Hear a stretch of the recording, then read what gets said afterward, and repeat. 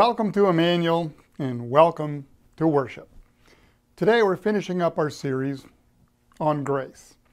I hope that over the last seven weeks that you have come to a greater understanding of grace and that you've been changed by grace. I further hope that you've been strengthened and shaped by grace and that you often share grace with others. And I hope you rely on God's grace more than ever and on yourself less than ever. And finally, I hope that you'll never take God's grace for granted ever again. A few announcements. First of all, we'll celebrate God's blessings on Thanksgiving Eve with worship and Holy Communion. We hope you'll join us for that and stay afterward as we gather for a pie luck and fellowship time. So bring your favorite pie and join your Immanuel family for some Thanksgiving fun.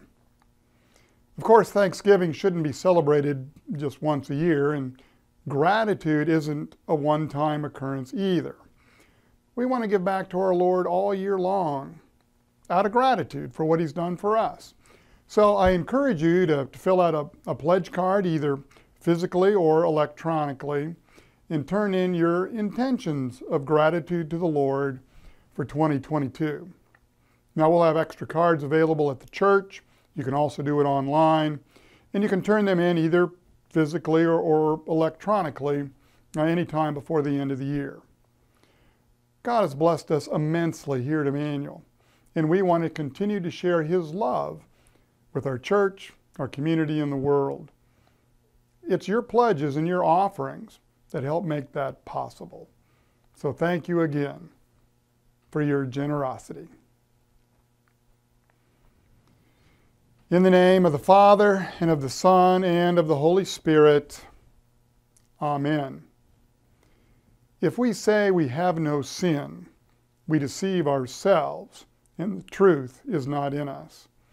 But if we confess our sins, God, who is faithful and just, will forgive our sins and cleanse us from all unrighteousness.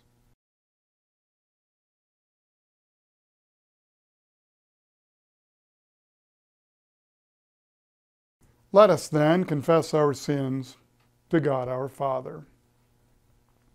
Most merciful God, we confess that we are by nature sinful and unclean. We have sinned against you in thought, word, and deed, by what we've done and by what we have left undone. We've not loved you with our whole heart. We have not loved our neighbors as ourselves. We justly deserve your present and eternal punishment for the sake of your Son, Jesus Christ, have mercy on us. Forgive us, renew us, and lead us, so that we may delight in your will and walk in your ways to the glory of your holy name. Amen. Almighty God, in his mercy, has given his Son to die for you, and for his sake forgives you all your sins. As a called and ordained servant of Christ, and by his authority, I therefore forgive you all your sins in the name of the Father, and of the Son, and of the Holy Spirit. Amen.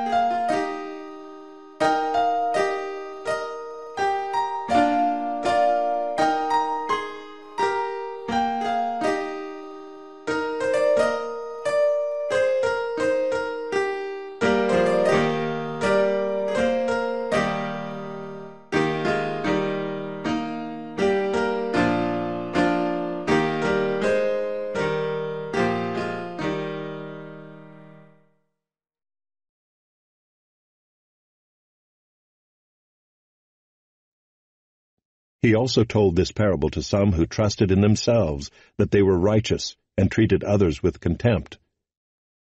Two men went up into the temple to pray, one a Pharisee and the other a tax collector.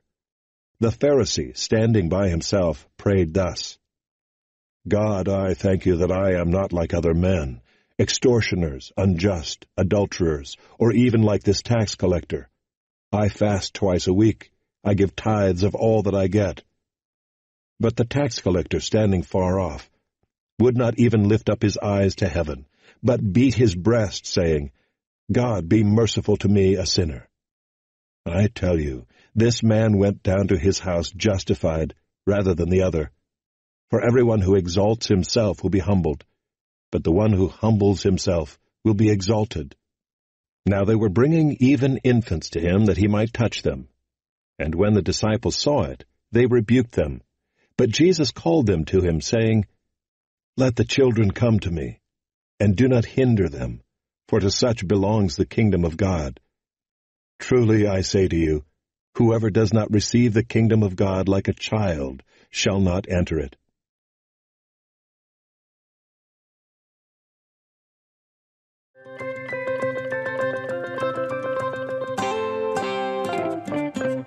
My name is Monica Wallowik. I'm the fifth grade teacher here at Immanuel, and I'm so happy you're joining me today.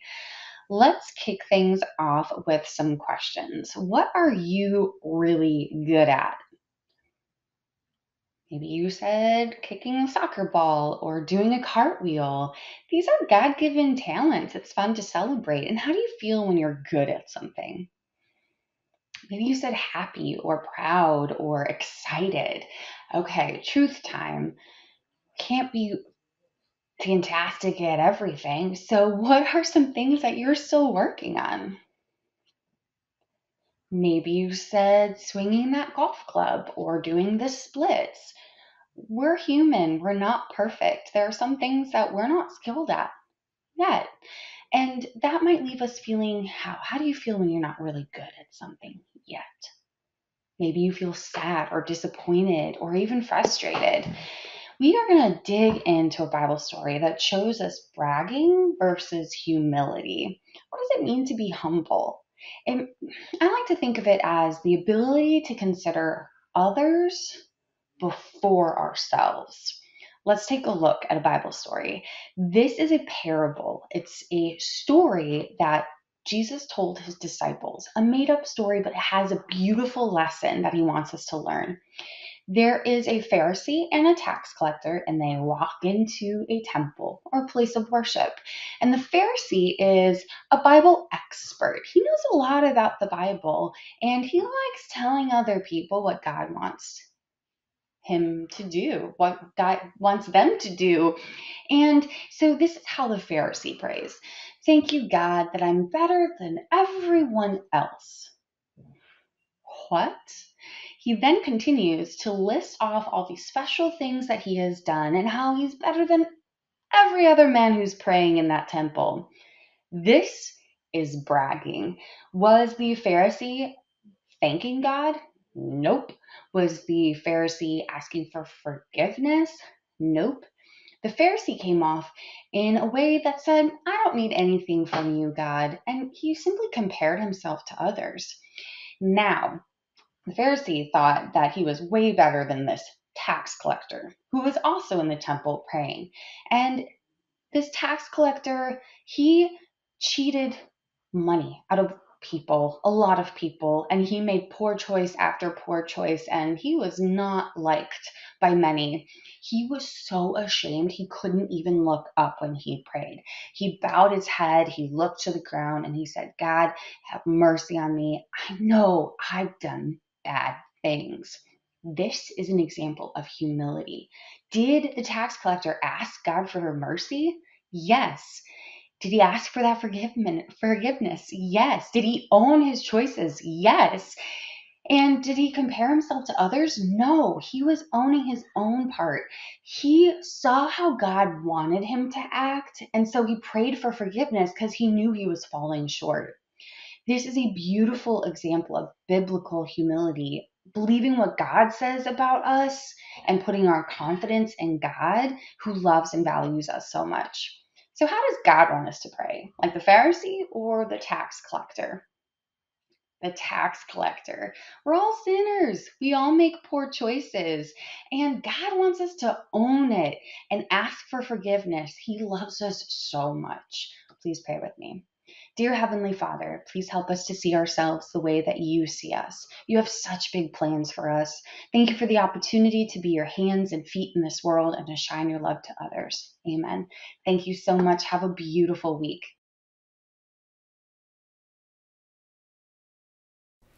There are two kinds of people in the world generalists and specialists. There are two kinds of people in the world those who make things complicated and those who make things simple. I hope I'm the latter. There really are only two kinds of people in the world. At least that's what I was led to believe growing up on the farm. There were those who drove red colored tractors and those who only drove green ones. and then there was my dad who drove red ones and orange ones. There are those people who only drive Fords and those who only drive Chevys, and those who won't drive either. And then there are those of us who only drive the best deal that they can find. There are two kinds of people in the world those who think there are two kinds of people in the world, and those who don't. well, there were these two men who went up to the temple to pray. One of them was a Pharisee and the other was a tax collector. The tax collector was, was a reject, a worse than a scoundrel, the rubble of humanity. I mean, he collaborated with the enemy, the government of Rome, and yet he becomes the hero of the story. It's a shame, really, that one of two men was a Pharisee. It's a shame because it spoils the surprise ending. You see, when we hear the word Pharisee, we know right away who the villain is. To us, modern day Christians, Pharisee is just the Bible word for bad guy.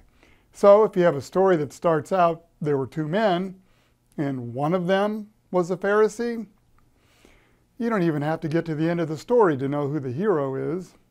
The hero was whoever wasn't the Pharisee.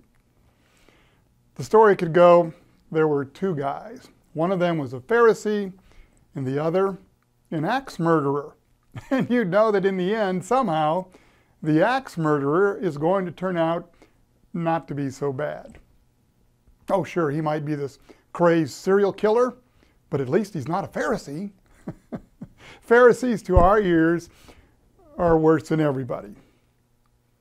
But that's not how it sounded to the people to whom Jesus first told this little story over 2,000 years ago. The Pharisees, to be fair, were actually pretty good people. They did everything right. They followed the law of God to a T.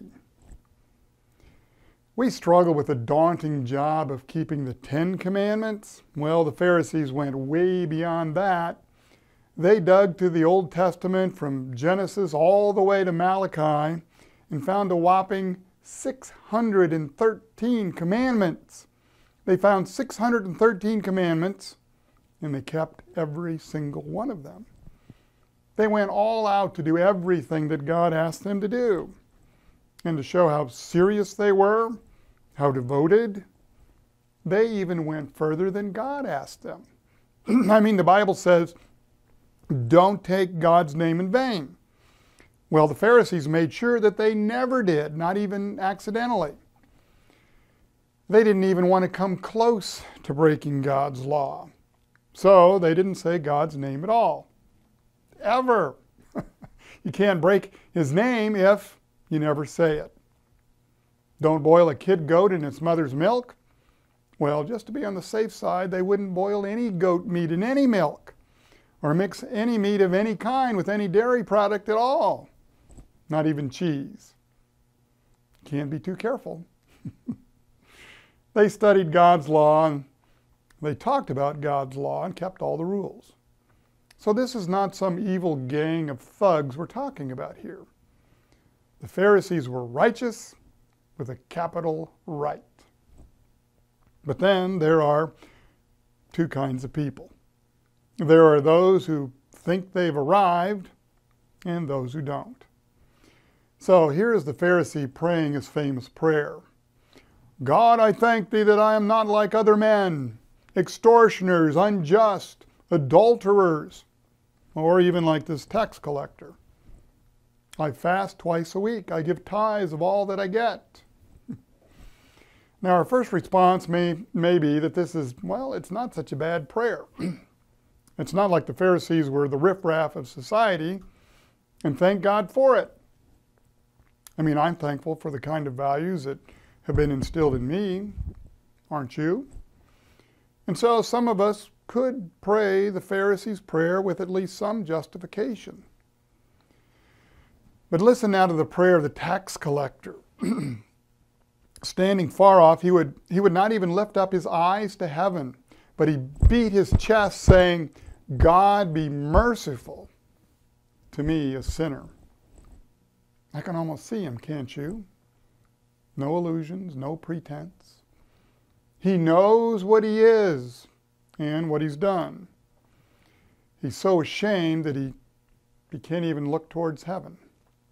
And his prayer is an honest one. Be merciful to me, a sinner. Now, Jesus said the tax collector went back to his house justified, but the Pharisee did not. But why? Because there are two kinds of people. There are those who look down on others, and those who are thankful God doesn't look down on them. Jesus was speaking to a crowd who trusted in themselves that they were righteous, and so they despised others. These were the folks who thought that they'd already arrived, those who considered themselves part of the spiritual elite. They were the people who focused on the sins of others rather than their own. They're the people who need to prove that they are right. These are the people who desire to be served. And humble people are those who are willing to serve others. These are the people whose attitude is, you know, the church is really lucky to have me in it. but the humble way is to say, I don't deserve to have any part in this ministry. Oh, how good of God to include me. Proud people keep others at arm's length. Humble people well, they want to be vulnerable and close to others. Proud people in a conflict wait for the other person to apologize. Humble people take the initiative to reconcile, regardless of who is at fault, and often apologize first. Proud people don't believe they need any transformation at all. They're just sure everybody else does. And humble people, well, they continually sense their needs for a fresh encounter with God. Yep, there are two kinds of people those who think they're better than everyone else, and those who appreciate God's blessings in giving them a better life. For example, some of you may remember Joe Theismann. He was a quarterback years ago at Notre Dame and then professionally for the Washington Redskins. Now he's a successful broadcaster and speaker. And one day someone asked, back in his playing days why a superstar like himself should have to hold the ball for field goals and points after touchdown. After all, he's a star quarterback. well, said Theismann, if I didn't, the ball would fall over. no false pride, no obnoxious pretense. Theismann understood his place in the whole scheme of things. He understood how blessed he was and he recognized that it was only by God's grace that he had the position that he did. There's little hope for people who think that they have already arrived. One of the chief reasons that the medieval church put pride at the top of the list of the seven deadly sins is that pride causes us to look down on others. It's really a, a great temptation for deeply devout people. You see, one of the problems that people have as they seek to follow Christ is that the closer they draw to God, the more clearly they see the weaknesses of human nature. And so the great temptation of one who is trying to be a Christian is to be critical of those who don't yet share his Christian ideals. So, how to hate the wrong yet feel love and a tolerance for the, for the one who does wrong is a continuing problem that every Christian, you and me both, has to face. Because the problem doesn't grow less, it only grows greater as one's dedication to God increases. It's true, the Pharisee may have been superior to the tax collector in, in every way possible. But as soon as he began looking down his nose at the tax collector, it's all for naught. There are two kinds of people. There are those who know they still have room to grow, who know they have not yet arrived, who appreciate the blessings God has given them purely out of His grace and then there are those who trust in themselves that they're righteous. And then they despise others. What a great text today for a sermon on justification by faith. These self righteous folks didn't trust God for their salvation. No, they trusted in, in themselves and their good works. And well, a lot of people still do that. In the very first of his 95 Theses, Martin Luther reminded all Christians that we are to rely on God, not on our own righteousness for our salvation. But how quickly we forget. Even Luther himself didn't do any better. Two decades after he had nailed his theses on the church door at Wittenberg, he still confessed that he at times felt the old dirt clinging to him of wanting to deal with God in such a way that he could contribute something to his own salvation. He still couldn't get it into his head that he was saved through sheer grace. And what was needed was a complete surrender of himself daily to that grace. And so our Pharisee could not see that all his righteousness was like filthy rags, at least in the presence of the righteousness of God, because we can never be righteous enough to merit God's love, because that love is freely given. Those then who know themselves to be sinners know that we must depend on God. Well, that brings us to the last thing to be said. No matter what kind of a person we are, we're all sinners. So let no one watching here brag before God about his righteousness. We don't have any. Let me give you a story to, to bring home the point. There was an amusing story in the newspapers recently about a man in, in Knoxville, Tennessee, who attempted to break into a convenience food store. now, the man slid down a roof air duct that also served as a vent for frying equipment in the store.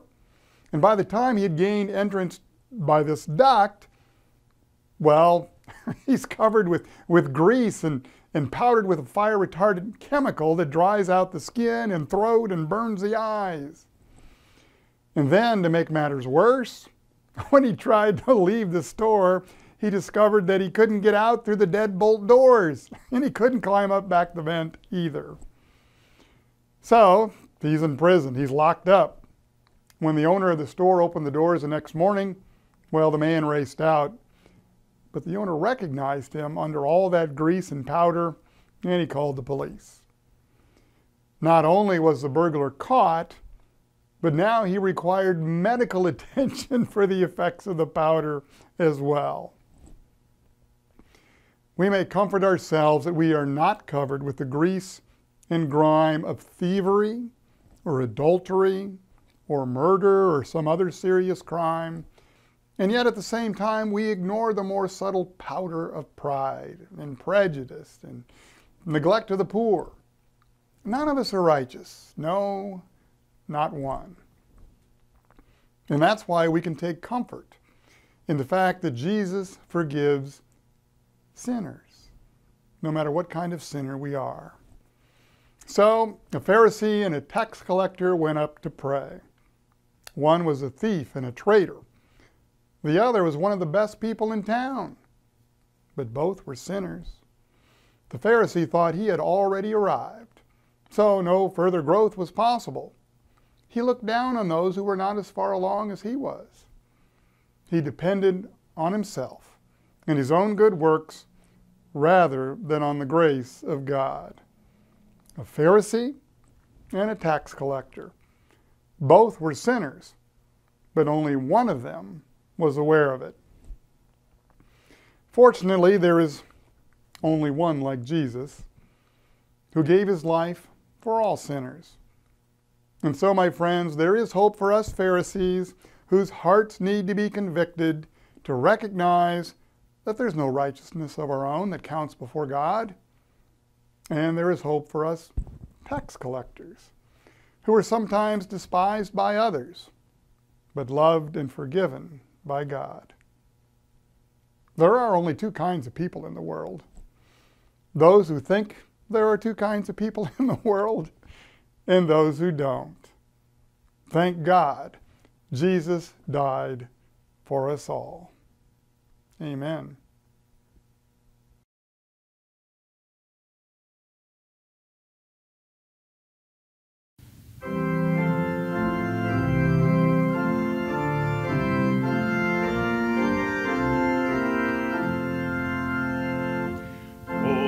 Bless the Lord,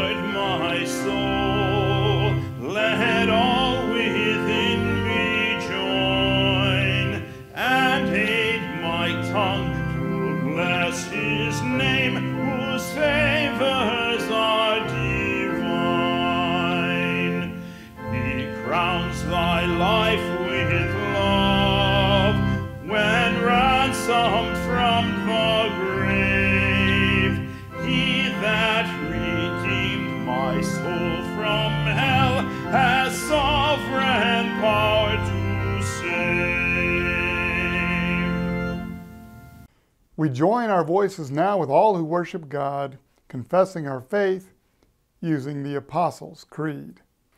I believe in God the Father Almighty, maker of heaven and earth, and in Jesus Christ, his only Son, our Lord, who was conceived by the Holy Spirit, born of the Virgin Mary, suffered under Pontius Pilate, was crucified, died, and was buried.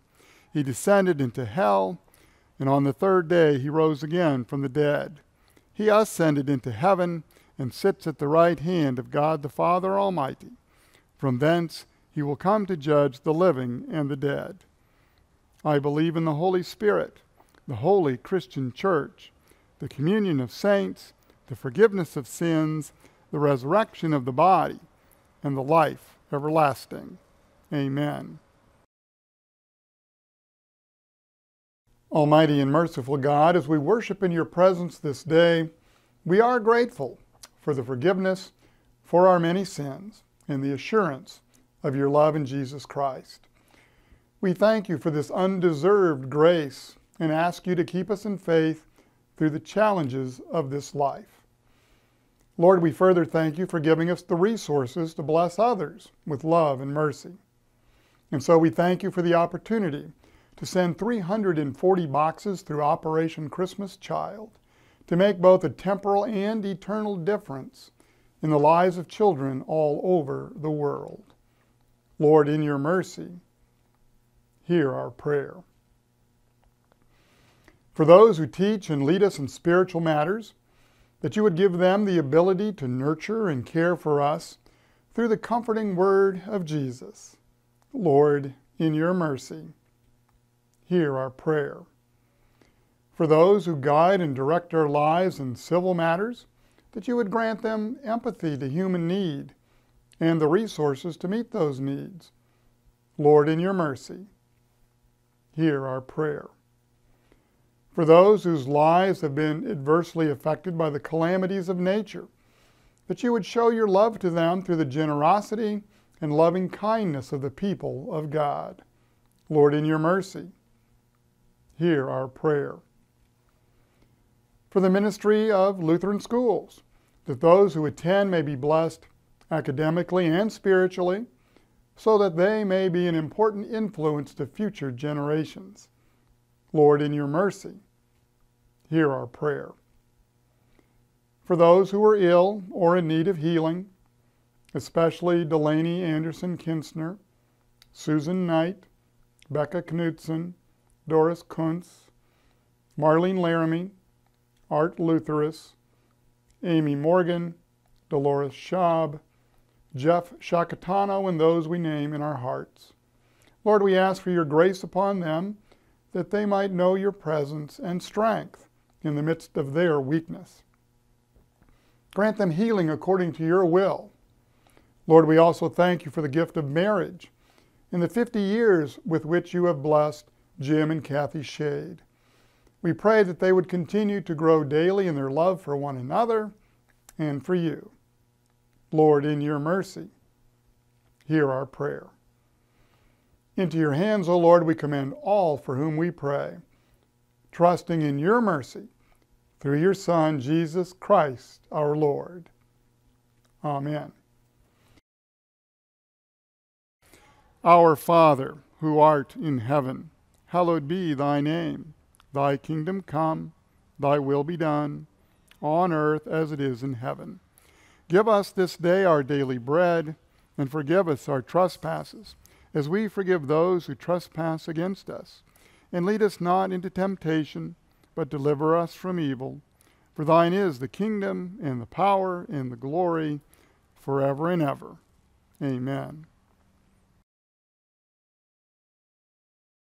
If you would like to support the mission and ministry of Immanuel, so even more people can know the grace of our loving God, you can do so by going to give.immanuelcl.org.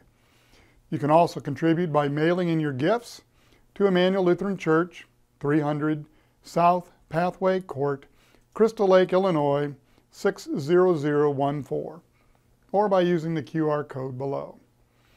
We're also grateful if you would fill out a connection card so that we might stay connected as the people of God. Capture the QR code below or visit connect.immanuelcl.org. Just sign in and, and let us know that you are here. We are so glad that you are with us to worship today. Please join us again next week. And now, the grace of our Lord Jesus Christ the love of God and the fellowship of the Holy Spirit be with you all. Amen.